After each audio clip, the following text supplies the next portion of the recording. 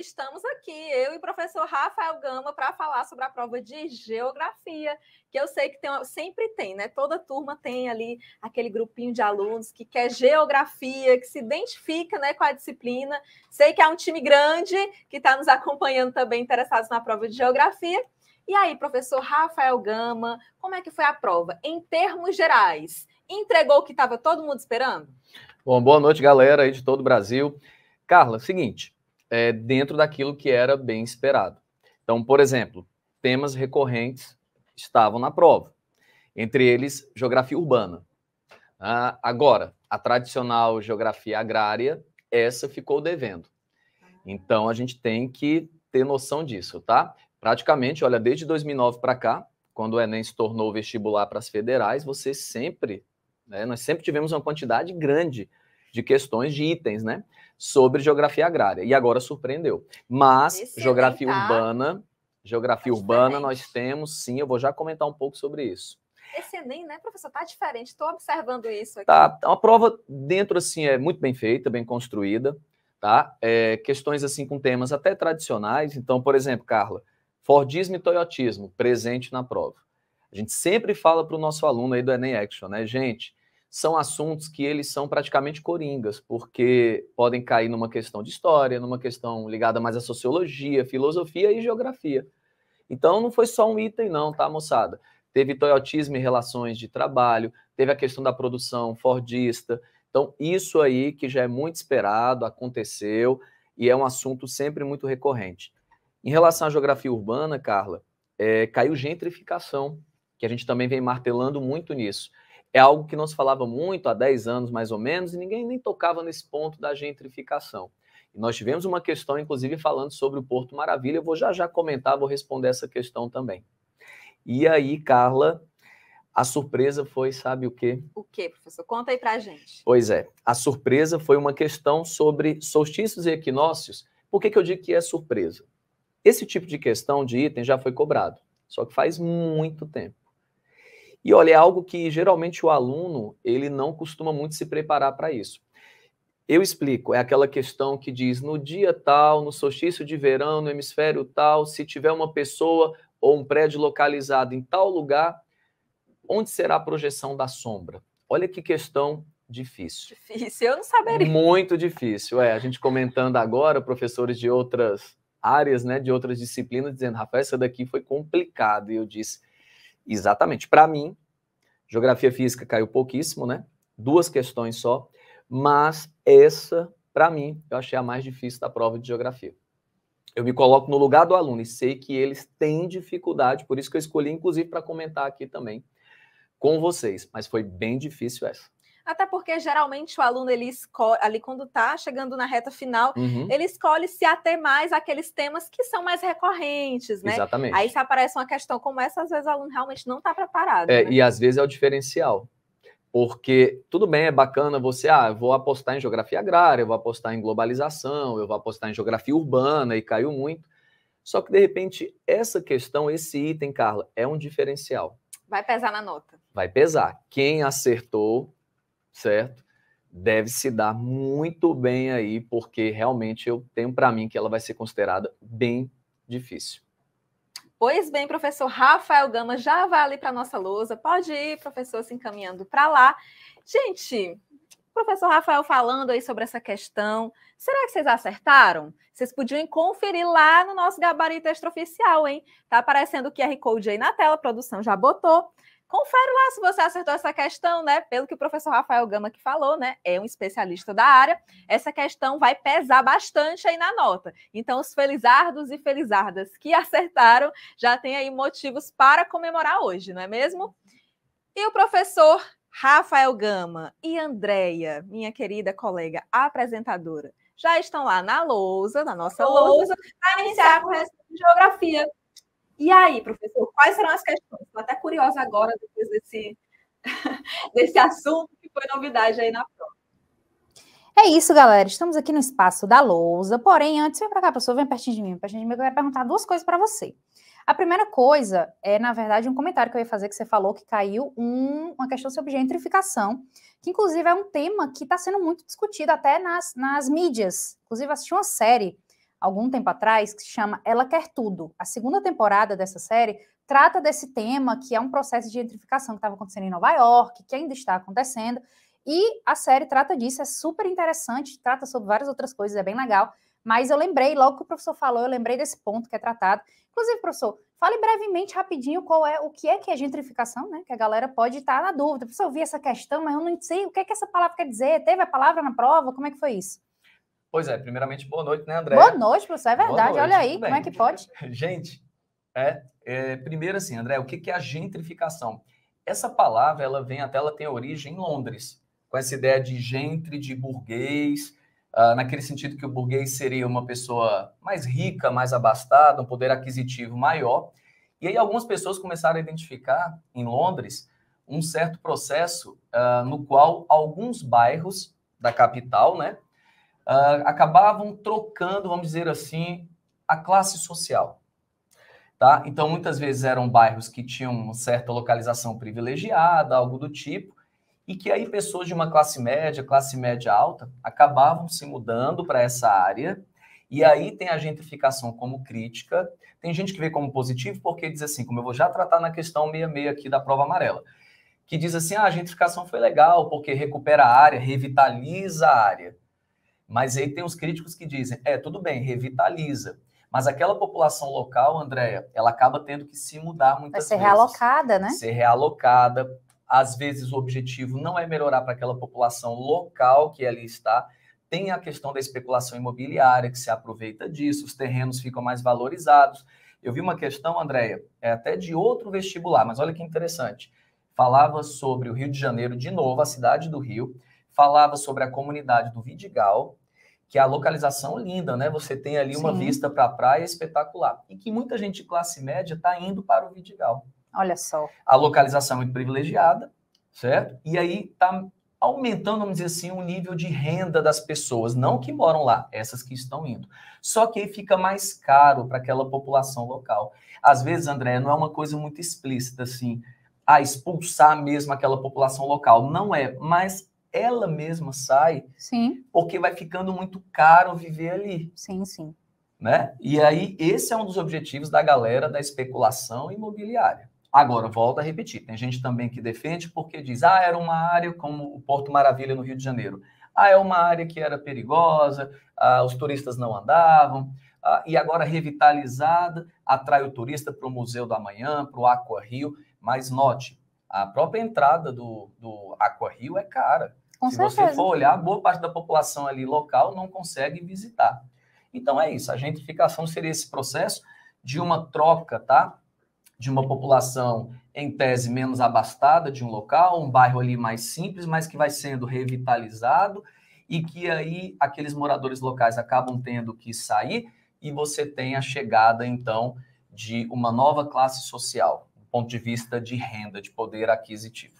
Muito legal, é professor, a explicação. Gostei bastante. Você vai resolver a questão sobre isso? Vamos sim. Show de bola. E aí, a outra pergunta que eu ia fazer é que você falou que a outra questão que você vai resolver fala sobre o sol, né? Em que lugar que, tipo, tem um lance de que seis, seis meses o sol vai mudar, sim, né? Não tem isso? Eu queria sim. saber, porque lá em casa eu tô precisando que esse sol mude, porque ele tá na minha janela. Então, quando é que, qual é o tempo? Demora um tempinho? Vai mudar quando? Semana? Pois é. Pelo amor de Deus, vamos saber agora, inclusive. Mas a gente vai primeiro para a questão da, sobre a gentrificação? Vamos aproveitar, né? Que a gente já está conversando, falando sobre isso. É Show de bola. 66 da Na prova, prova amarela. amarela né? isso. Né? Na, ah, deixa eu só falar rapidinho, uhum. professor. Na prova azul, ela é a questão 61. Na prova branca, ela é a questão 55. E na prova rosa, ela é a questão 51. Então, tá com você, professor. Então, bora. Olha só, aproveitando então que a Andrea fez esse questionamento, que é massa demais. Primeiro eu tenho que saber o que é gentrificação, né? Claro. Aí tem um texto de apoio, galera, que diz assim: desde 2009, a área portuária carioca vem sofrendo grandes transformações realizadas no escopo da operação urbana consociada conhecida como Porto Maravilha. Parte importante na tentativa de tornar o Rio de Janeiro um polo de serviços. Olha só, aí ajudou a responder, viu? Olha só a pista, um polo de serviços internacional. Aí fica a dica no texto. A, abre aspas, revitalização urbana deveria deixar para trás uma paisagem geográfica que ainda recordava a cidade do início do século passado, para abrir espaço em seu lugar, olha só, a instalação de modernas torres comerciais, espaços de consumo e lazer inéditos e cerca de 100 mil novos moradores. Olha aí, Andréia, 100 mil novos moradores. E olha a ideia que eu falei de torres comerciais, espaços de consumo e lazer. Olha o Museu do Amanhã. Olha o Aqua Rio, pessoal. Aí ele continua. Ao patamar de Barcelona e Buenos Aires. Buenos Aires aconteceu algo muito parecido, se alguém já visitou lá, com um bairro chamado Puerto Madeiro. Revitalizaram também a área portuária de Buenos Aires. Agora, o que, que a gente percebe? Que é uma área onde recebe muitos turistas, inclusive brasileiros, mas a população local, ela às vezes nem frequenta muito. Exatamente porque são bares, restaurantes relativamente caros. E aí vem o comando. As intervenções urbanas descritas derivam de um processo socioespacial que busca a. Bom, por isso que eu falei que ele deu a dica quando ele fala tornar o Rio de Janeiro um polo de serviços internacional. Resposta vai ser de cara a letra A intensificação da participação do Rio de Janeiro, dessa localidade, na competitividade global. Professor, por que, eu não marcaria a B de bola? Gente, porque ele fala conter a especulação imobiliária. Acabei de conversar com a Andrea. A especulação imobiliária ela se beneficia desse processo de gentrificação.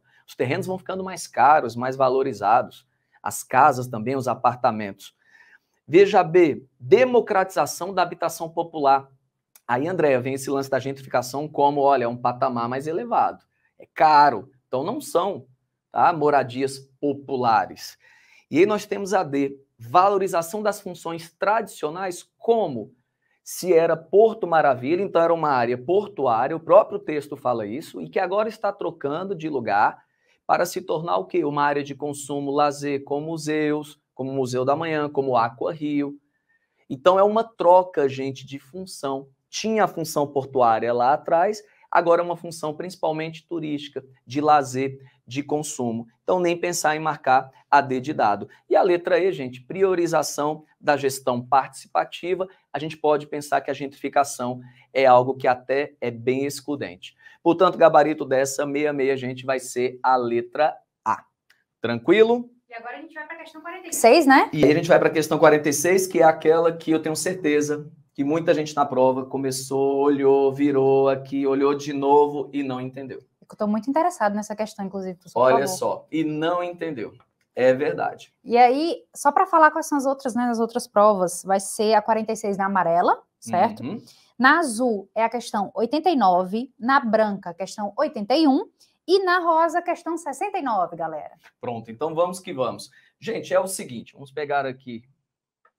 Olha só, é, tem um desenho, tá? Falando sobre o movimento de translação da Terra. Então você tem aí os equinócios, os solstícios, mas não bastava só saber o que era solstício e o que era equinócio. Você tinha que ter um conhecimento mais amplo. Então ele traz um mapa, um mapa, uma figura, né, na verdade, tá? Com a posição da Terra em quatro momentos, com as suas datas, diz quando é solstício, quando é equinócio, e ele faz o seguinte: a questão é até simples do ponto de vista gráfico. Olha o comando. Considerando as informações apresentadas, o prédio do Congresso Nacional em Brasília, no dia, o mais importante é a data, gente, 21 de junho, e o horário, às 12 horas, meio-dia, projetará sua sombra para a direção. Gente, vamos lá. Olha só. Vamos imaginar aqui um globo. Ok? Aí você coloca aqui no meio, Tá certo? A linha do Equador. Beleza? Você vai colocar para cá, ao sul, trópico de Capricórnio. Então, vou colocar aqui, olha, Capricórnio, ok? 23 graus mais ou menos lá ao norte, trópico de quê, galera? Trópico de Câncer. Ok? Então, vamos lá. Então, olha, perceba. Tranquilo, né? linha do Equador, zero grau, 23 graus ao sul, trópico de Capricórnio, 23 graus ao norte, mais ou menos, trópico de Câncer. Beleza. Aí você vai fazer o seguinte: qual foi a data que ele deu, gente? 21 de junho. Então, olha só, 21 do 6. 21 de junho. O aluno tinha que saber, porque a questão não vai falar isso, tá? Não vai dar essa informação. Você já teria que saber que no dia 21 de junho é verão no hemisfério norte. Então o Sol se encontra perpendicular ao trópico de quê? De Câncer. Então pense o Sol aqui, gente. Nesse dia 21 do 6. Agora pensa o seguinte, qual é o prédio? Congresso Nacional, em Brasília. Onde é que está a Brasília aqui? Gente, você pode colocar Brasília em qualquer lugar, só que tem que ser entre a linha do Equador e o trópico de Capricórnio. Brasília se encontra no hemisfério sul. Imagine que esse quadrado aqui, esse retângulo, tá? Seja o prédio aí do Congresso Nacional. O que é que você vai fazer agora? Você vai imaginar que o Sol ele está perpendicular, olha só, ao trópico de quê? De Câncer. Se fosse 6 horas da manhã, gente, o Sol estaria ainda a leste, nascendo aqui, olha. Então você veria que o Sol ele iria fazer isso aqui. Segura aqui um pouquinho, Andréia. Olha só. O Sol iria fazer isso, a radiação solar. E a sombra iria ser projetada, moçada, para cá, ó. Ou seja, a sudoeste. Estaria pegando mais radiação solar a nordeste, beleza? Do Congresso Nacional e a sombra situada o quê? A sudoeste. Mas qual é o horário? Não é 6, 7, 8, 9, 10 da manhã. Ele deu o horário, gente. Ele falou que era meio-dia, 12 horas. Então, olha o que vai acontecer com o Sol. Ele está nascendo aqui, beleza? A leste. Só que meio-dia ele se encontra aqui, ó, nessa posição. Então, a radiação solar, olha só, está pegando na parte do Congresso Nacional voltada para onde? Para o norte. E a sombra, professor? A sombra estará projetada para onde então, pessoal? Para o sul. Isso é fácil, gente. Se você tiver uma lanterna, aqui eu acho que não vai dar para fazer, tá? Por conta da nossa iluminação aqui do estúdio. Mas você pode pegar uma lanterna do celular e você iria ver, ó. Você iria ver que, olha só, a sombra é porque para quem está em casa aí vai ser meio complicado, né? Mas tá dando para ver, professor. Mas olha, Meio-dia o sol estaria aqui. Eu vou aproximar meu celular só para você ver a sombra. Ó. Olha a sombra sendo projetada aí para o sul. Se eu estou imaginando que o sol está aqui meio-dia. Se fosse à tarde, André, o sol estaria para cá, indo se E pôr. a sombra para outro lado. A sombra estaria sendo projetada, olha só que sensacional, para sudeste. Então estaria pegando mais aqui a noroeste, o sol, ok? Aí o aluno diz assim: e se for seis meses depois? Ah, se for seis meses depois, jovens, olha o que queria acontecer. Seis meses depois, o Sol iria se encontrar perpendicular ao trópico de Capricórnio. E aí, se fosse meio-dia, estaria pegando praticamente na parte sul e a sombra seria projetada, olha aí, Andréia, para o norte. Incrível. Tá? Fica difícil perceber aí quem está em casa, mas depois pega o seu celular, pode fazer um desenho, moçada. Faz esse desenho igual o seu, né, colocar- professor? Faz o desenho aí, coloca, posiciona a lanterna aí do celular, que vai dar muitíssimo certo. Então a questão era muito objetiva, tá? Resposta aí vai ser a letra B de bola. Resposta, então, a sombra vai estar projetada para o sul, porque, de novo, dia 21 de junho, o Sol se encontra perpendicular ao Trópico de Câncer, é verão no hemisfério norte, inverno aqui embaixo. Se fosse de manhã, estaria pegando o Sol mais para cá, nordeste do Congresso Nacional. Meio-dia, o Sol se encontra aqui, então está pegando mais ao norte, a sombra projetada ao sul. Beleza? Gama difícil questão? Muito, muito difícil. A gente vai ouvir falar muito sobre ela ainda. Beleza? Galera deve estar comentando super sobre essa questão, porque assim, eu achei ela sensacional. Inclusive, depois a gente vai conversar para a gente fazer esse mesmo desenho sobre a minha casa, para eu entender qual é que vai ser o sol nela, porque eu tô precisando saber dessa informação, mas eu achei incrível. Mas é uma questão difícil, viu, Sou? Com certeza. O aluno tem que tinha que saber ter- onde é que você Exa- mora, É, se é próximo porque, linha do né? Equador, se é próximo ao trópico, se você está ao sul do trópico de Capricórnio, se está ao norte do trópico de Câncer. Gente, são muitas variáveis, porque o Sol Exatamente. ele vai mudando a posição. Na verdade, ele fica parado, né, André? É, se no movimenta é a Terra, que é inclinada, mas a gente tem essa sensação de que o. Sol, isso, que Vale o Sol, a ressaltar. posição dele, né, vai sendo alternada aí ao longo do ano, dependendo de onde você morar, é claro. Beleza? Como a gente aqui da NEX, a gente mora em lugar nenhum, que Com assim é um. certeza. A gente mora no Brasil inteiro, nosso coração tá no Brasil inteiro. Mas o Brasil tá, tá todo aqui, né? Tá- tá- Aquela Tá. geografia, gente, tá todo aqui, né? O Brasil. Mais ou professor? menos, né? É, vamos tem uma partezinha ao sul do Trópico Ah, Capricórnio, é, entendi. uma partezinha ao norte aqui da linha do Equador, mas o, a maior A parte maior parte. fica entre aqui os trópicos, tá? E entre a linha do Equador e o trópico de Capricórnio, André. Chegou perto você. E o sol tá por onde, pessoal, hoje? Agora, Agora, nesse qual é a exato data que nós estamos? Dia 21 de Novembro. novembro. Olha, Então vamos 21 pensar, também, o Sol já está, sabe o que que ele está fazendo, André? Ele já se encontra aqui descendo, entre aspas, a gente sabe que ele está parado, é a Terra que se movimenta, né, com a inclinação, mas você vai pensar o seguinte, André, ele já está descendo, porque no dia 21 de dezembro ele tem que estar aqui, ó. Olha só que loucura. E aí, quando ele estiver aqui, qual é a estação do ano aqui embaixo? Se o Sol está aqui, Sol, calor, Verão! Verão, Ai, que valeu, Carla! verão. Sensacional. Se é verão aqui embaixo, só pode ser o que lá em cima?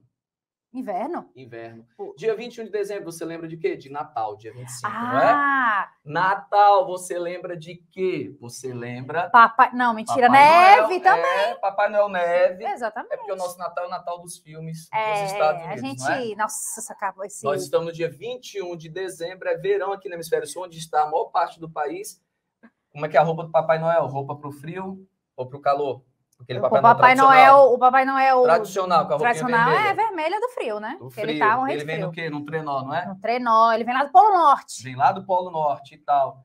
É neve, né? Em Nova York, aqueles filmes que a gente Ai, assiste. lindo, que o pessoal vai- Lindo. Veste os, os pijamas Park. parecendo. Ai, ai, perfeito, meu chique sonho, demais. meu sonho. Cara da Central Park. riqueza, né? É meu Pronto, sonho, só ainda é vou o Natal realizar. deles lá em cima. É, o pessoal. nosso é é o Natal lá do Hemisfério Norte, que é o quê? Você nunca mais vai esquecer disso. Nunca mais esquece. Gente, pensa o seguinte, quando for Natal, pensa nos filmes lá dos Estados Unidos, aquela coisa toda, aquela coisa fria, chique, árvore de Natal, um pinheiro. É. Olha, ali da taiga, por exemplo, é tudo diferente. Papai Noel desce pela chaminé, olha aí, lareira. Que é uma coisa que não tem no, né, no Pois Brasil, é. E a gente está aqui Quer dizer, entrando tem, no né, nosso verão. Verão, galera. Ok? Então tem dicas, sim, pessoal. Acompanhe as aulas da NE Action que você vai ver isso aí com toda certeza. E eu achei incrível, porque agora o aluno não vai esquecer. Lembrou, ó, lembrou, Natal, 21 de dezembro, é isso, galera. inverno lá em cima, verão aqui embaixo. Seis meses depois, você alterna. Troca. E aqui o inverno fica um pouquinho diferente, né? Porque o inverno aqui, infelizmente, não tem neve. Quer dizer, tem. Em algumas partes do Brasil tá região tendo neve, na Brasil, região na sul tá Serra. Catarinense Gaúcha pode nevar. A pergunta correta é por que no Brasil quase não neva, mas Ah, olha só. neva. Neva sim, senhora, viu? Se você é do sul, você deve ter acompanhado. Coloca aqui no chat, galera, aqui em algum lugar, se você já viu neve, né? Se você é do sul do Brasil e experienciou esse momento que, infelizmente. São Joaquim, Urubici, Urupema, lá na Serra Catarinense. Alô, galera de Santa Catarina. São as cidades, os municípios mais frios do Brasil, inclusive. Nesses aí é uma possibilidade grande de neve na época do inverno. Olha que sensacional, galera. Professor Gama, muito obrigada pela sua participação, tá?